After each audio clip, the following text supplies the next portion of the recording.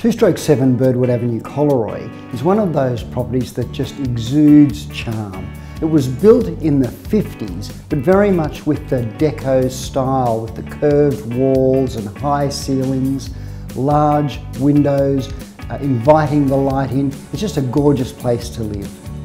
This apartment is very easy to access and as soon as you walk in the front door, you're immediately taken by the high ceilings, polished floors, it has great living areas. There's a, a separate dining area attached to the kitchen, a large uh, living area and uh, wonderfully uh, positioned at the front on the northern end is this lovely sunroom that just invites in the view and really accentuates the wonderful position with the ocean and the ocean pool and the beach just across the road. It's absolutely fantastic.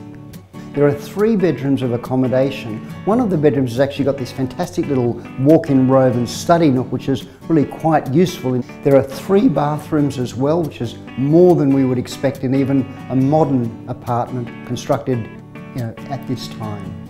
Collaroy is one of uh, the Northern Beaches uh, uh, suburbs that's steeped in history and tradition.